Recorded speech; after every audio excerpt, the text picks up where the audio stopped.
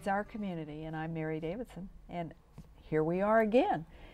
You know, we have the most interesting neighbors, and I am always so delighted to meet new ones and become reacquainted with older ones that I have known for a very long time. This happens to be a new friend, and her name is Karen Weber, and she is an attorney with the Weber Law Offices in our area, and she practices I, you know, I have to tell you, I try to take care of myself in my older age. She practices elder law. So I thought, you know what?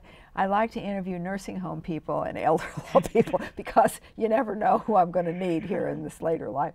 And Karen practices elder law, which I find extremely interesting because um, our population is growing older quickly, and um, which has brought about a change in the law which has brought about your niche in the law, has it not? It has indeed. Yeah. Yes. And uh, talk about the elder law. I mean, you several years ago, when you went to law school, did you think about practicing elder law? I didn't, Dr. Cohen. When I was in law school, there was no course uh, offerings in the area of elder law. It's elder law as a term, I believe, was coined in 1989 by mm-hmm. a small group of attorneys who found themselves facing similar situations regarding aging clients that they were serving. Uh, and let's see, we co founded our Kansas chapter of the National Academy of Elder Law Attorneys in 1998. Um, so you started out to practice what kind of law? Uh, I started out initially uh, with a litigation firm on the plaza uh-huh. here in Kansas City. Uh-huh. And while I was an associate lawyer there, I uh, approached the senior partners and I asked them if they would pay for my membership in the National Academy of Elder Law Attorneys. This was um, the firm I was with at that time was primarily insurance defense, uh-huh, uh-huh. and this was going to be more plaintiffs type work. The yeah. senior partners weren't sure uh, they that was their style. Right, yeah. right. But I convinced them that we would be developing a new practice area for the firm, and so.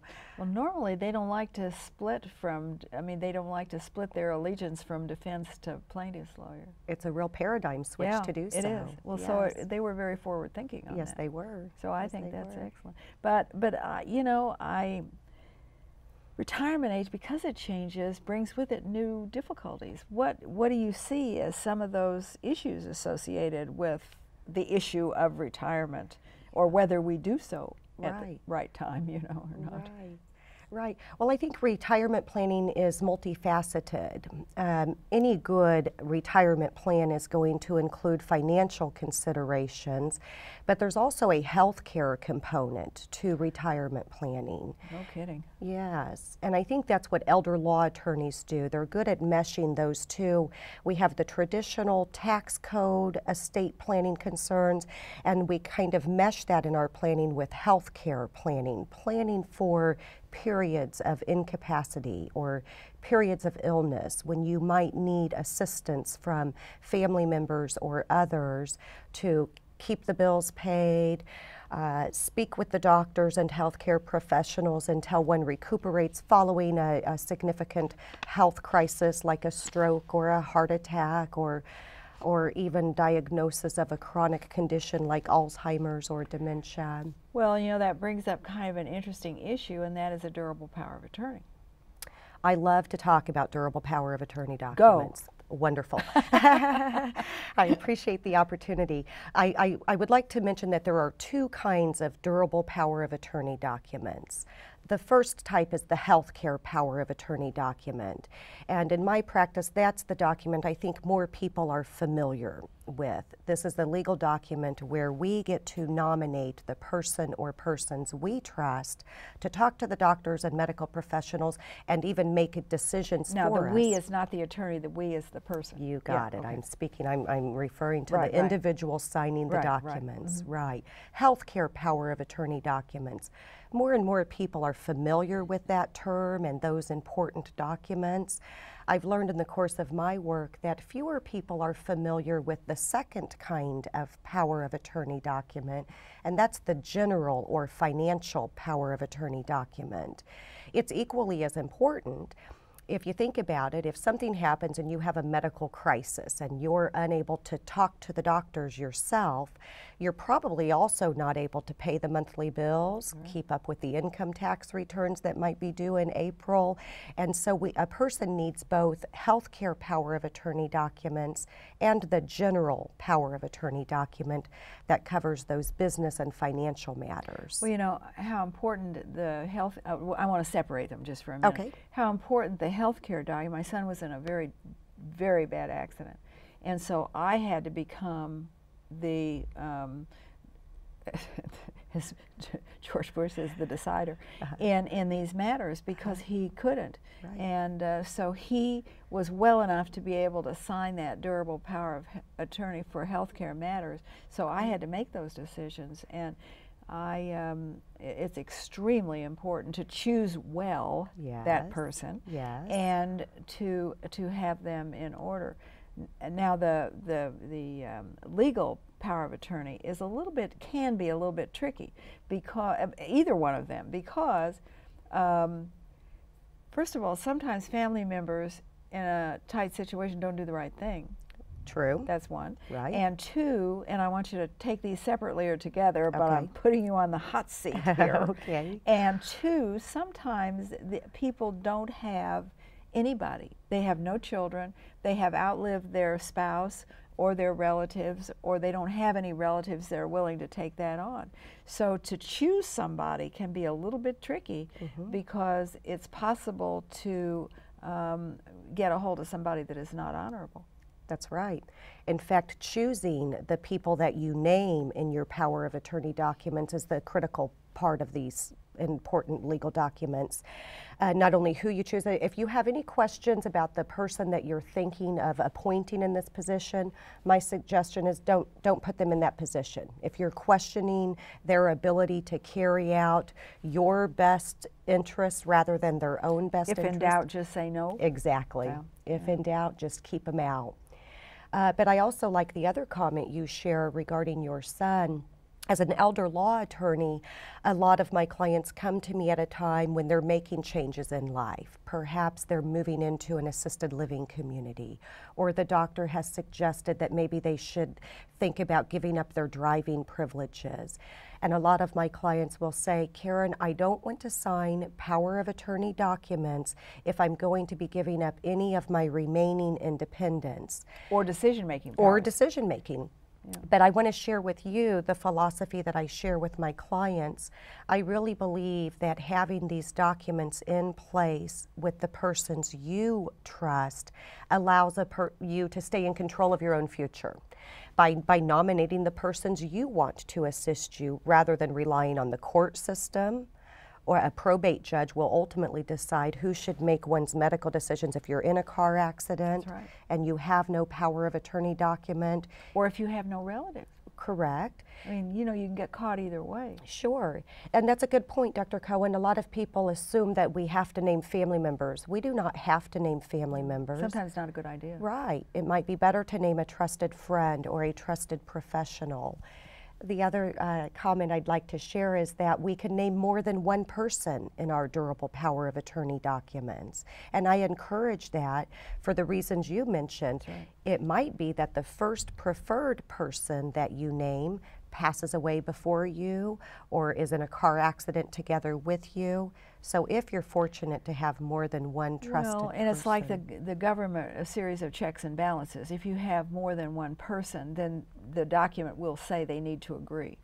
it, the document can say that they Yeah. have to agree Yeah. uh, or that they can act independently of one another. The other comment I'd like to make is that while I'm a lawyer and I love legal documents, when it comes to healthcare decision making and durable power of attorney documents, having conversations with the people that you've nominated about your individual thoughts and wishes in the event of an end of life or other healthcare decision making crisis, those conversations are critical and key to ensuring that your wishes are going to be carried out. Okay, here's another, I bet you, is a sticky wicket that comes your way too. Somebody will come in and you will talk to them about uh, their will or their this or their that or their durable power of attorney for health care, whatever. And they will say to you, Well, I don't I don't have any. Will you serve? Yes. And what do you say? I do get asked that question, Yes. Dr. Cohen, and I would never I suggest that on my own motion. I would never suggest that I be nominated in a client's legal documents. But I must confess, over the past 20 years, I have had uh, several clients who come into my office. They have no family members, they have no relatives, they have no friends who they are they believe to be capable of performing and and so I have been nominated uh, as for some of my clients. It's my preference not to be. Not to be. Yeah. You know, I would think Yeah. that. You know, you make the comment that uh, it's noted that instead of a linear um, trajectory for life, it becomes more of a cycle, a circular trajectory. Why do you say that? Well, um, it used to be we went to work. We worked at the same company for 30 years. Gotta we go watch. gotta go watch. Right, right, right. We retired, we traveled, we passed away. Life doesn't work that way anymore. Uh, any number of events can develop in the course of a lifetime, and a good estate plan is going to be flexible enough to cover those contingencies and those changes that come up. You know, I look at mine every couple of years. It's important. It is because sometimes they get a little stale and the laws change and uh, it's not well to just write it, put it in the safe deposit box and forget about it. And 50 years later, you um, give up your mortal coil, as they say, and it's it doesn't do what you really would like for it to do. Yeah. We encourage our clients to review their documents every three to five years or after any significant change in circumstance mm-hmm. retirement, mm-hmm. the death of a family member, the birth of a grandchild. And I think sometimes they don't do it because they think it's a terrible expense that they don't want to go to. And really, to, to amend a document is not nearly as costly as to start from scratch. And usually, the, am- it's an amendment, not a you know the, not a complete overhaul. That's right, yeah. right. I you talk about the boomers, and you know everybody talks about the baby boomers, and um, I, I you said you said something about them to live on their own terms. What? What terms? I mean, you know, how, how, explain yourself. Yeah. Well, Ms. boomers. Weber, Ms. Weber, explain yourself. Boomers um, are changing a, a lot of things our healthcare delivery system, the way we perform our elder law Uh-huh. services, and boomers do want to do it their own way.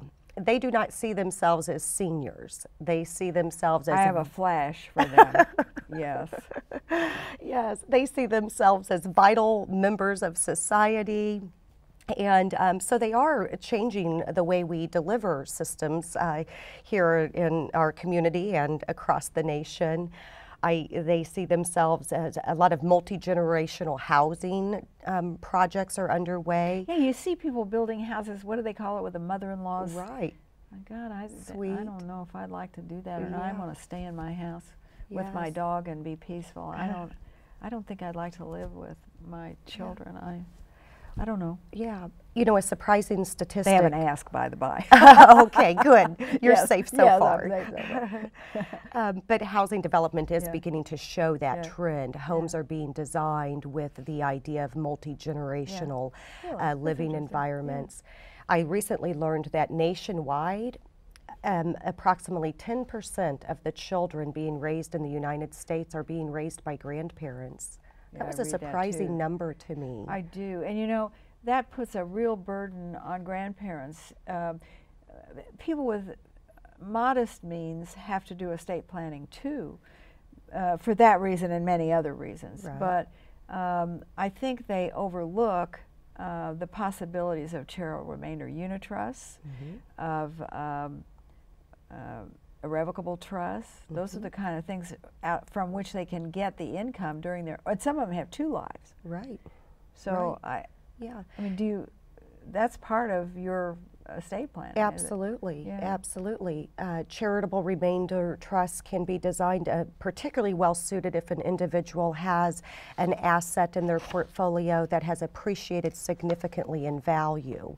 Uh, and Like stock in a stock company, yeah. or real estate interests and if the or if the individual wants to increase their income uh, lots of different planning opportunities uh, for individuals and a good retirement plan is going to consider not just the financial uh, um, picture and the healthcare concerns but the types of assets that an individual owns does this person have highly appreciated assets that need to be transferred uh, and the timing of those transfers Well, and Let's, let's pull that out just a minute. The right. timing of those transfers is very important. Let's, let's use an example. Let us assume that uh, a, a, a parents have started a business from nothing and they have made it into something with a capital S.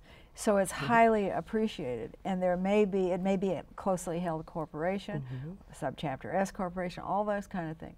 And so the transfer of that to to minimize the tax um, um, implications, that's very important. absolutely You can't do it when you die. I Right. mean, you got to think ahead. That's right. That's right. And, and that's what a good estate plan will do. The so sooner a person how do you, what do you do that? How, what do you tell them to do? Yeah. Well, we always want to minimize, clients want to minimize taxes, right? All of our Right. taxes, Right. estate taxes and capital gains taxes Right. on appreciated assets.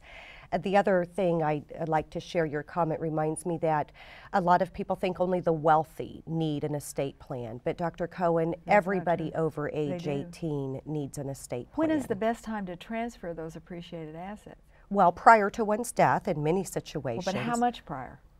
Uh, well, that really depends on the client. Um, i again, Well, doesn't it have to be a couple of years? oh yes, yeah. We don't want it to be yes, yes, I practice law without a license. I tell you. Yeah.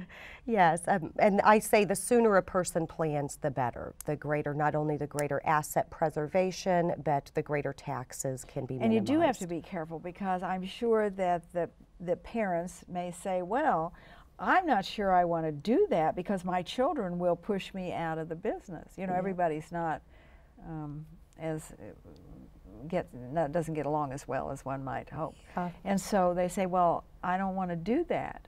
Right. It can be hard to Yeah. give up measures Giving up of is hard too. control. Yeah, Mhm, yeah, it is. yeah. And they don't want to.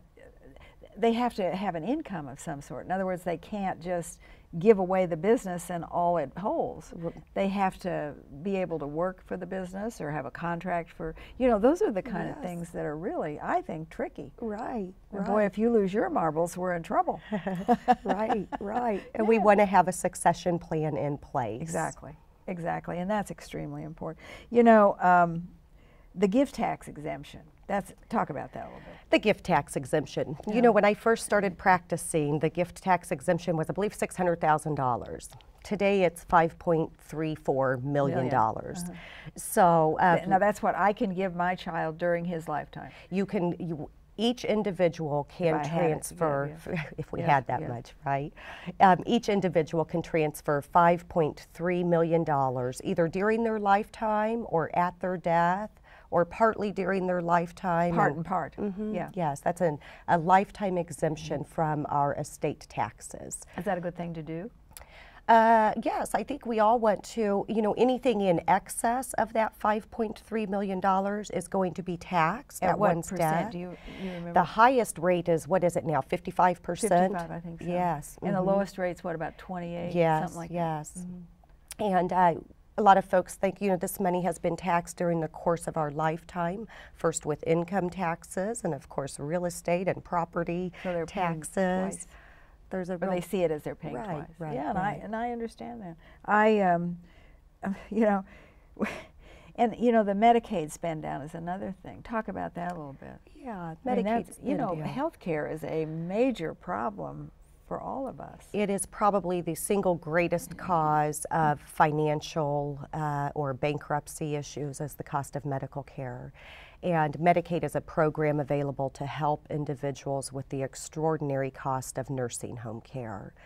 Generally, it's a joint federal state program. Some of the laws are federal in nature and are going to be consistent state to state. But each of the states ad- administers and interprets the, the program differently. So there are some different differences between the states. Generally speaking, there are five exempt assets.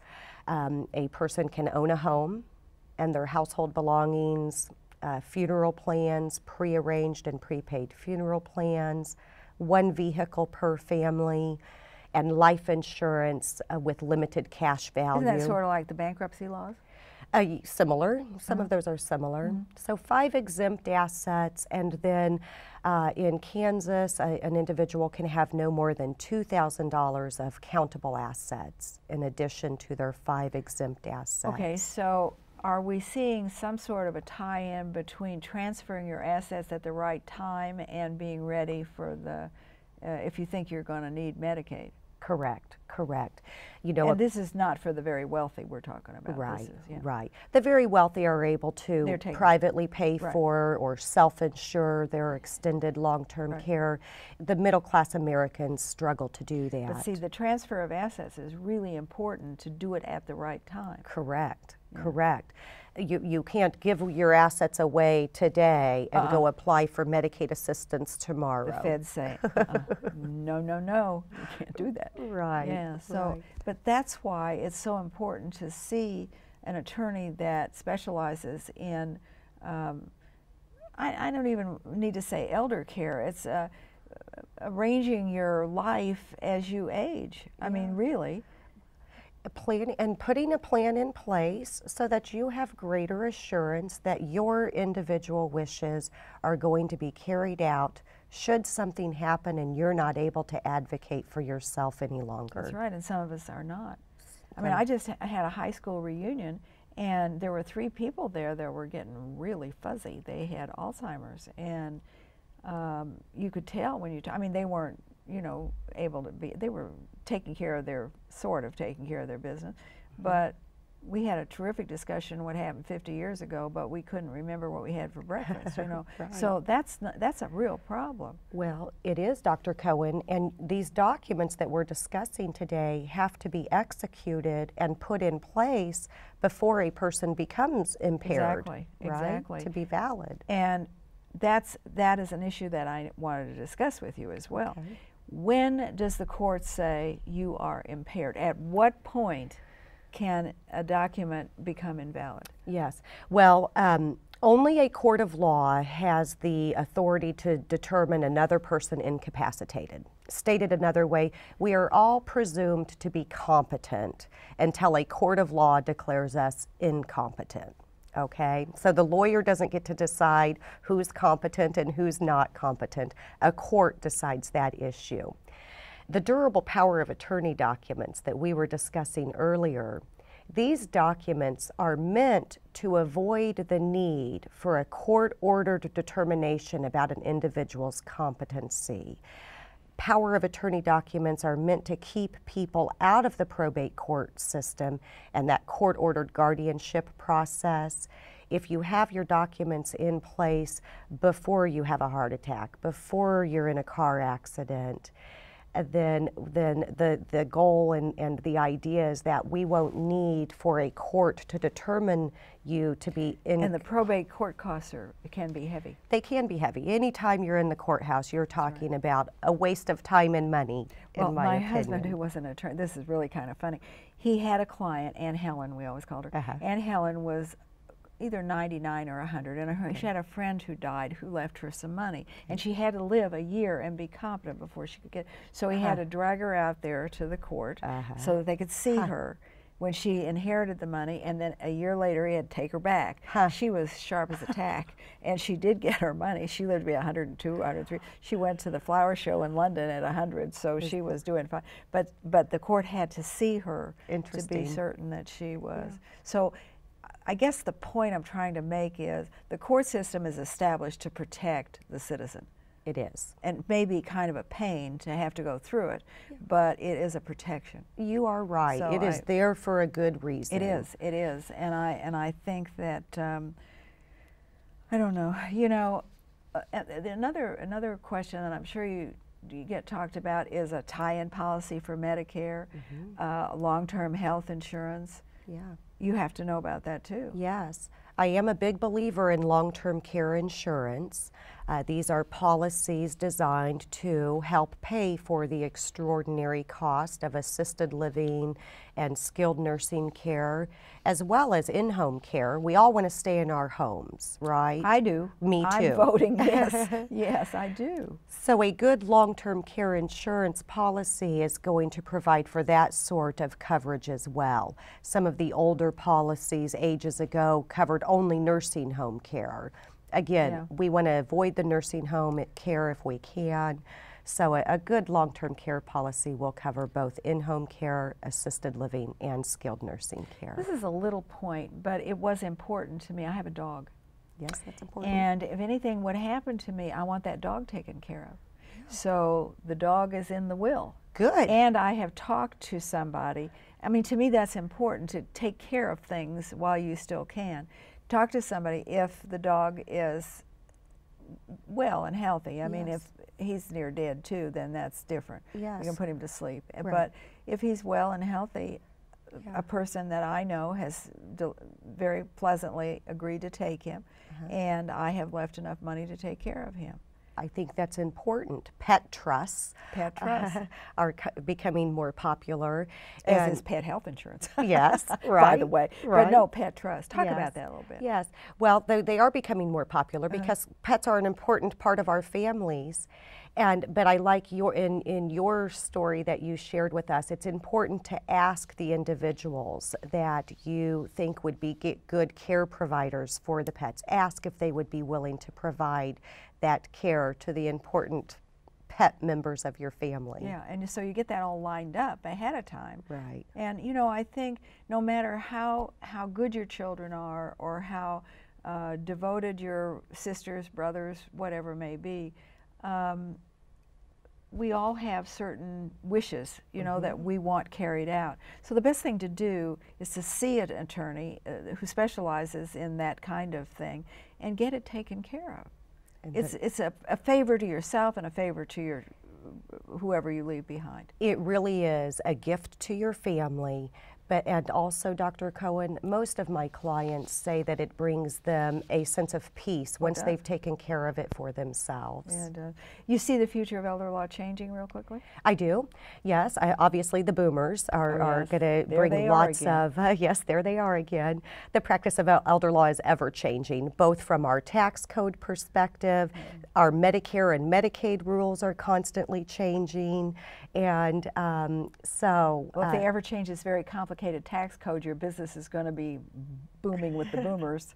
we can only hope, Yes, right? that's right. That's right, exactly. But it does because the world is changing so rapidly. Even even as we consider the the the possibility, uh, the reality. Really, it's not a possibility; it's a reality that we're citizens of the world, Mhm, we are. and we um, we're no longer uh, so provincial. So our estates um, to take a little care, and we're living a lot longer. And living longer is a bane and a boon because uh, you know we're not as well, and we're uh, more of a drain on the healthcare system, and and sometimes on ourselves. So we have to figure out how to make our money stretch as we get older, Absolutely. and that's what you do. it is. So I just I think it's a an interesting profession to be in at this particular time in uh, the world, and I um, I think um, I, I predict your business is going to get better. We stay really busy. we stay really busy and we enjoy it's very satisfying It is. work. I know it is because you have people say, you know, I rest easier now. I hear that all the time. Yeah. Yeah.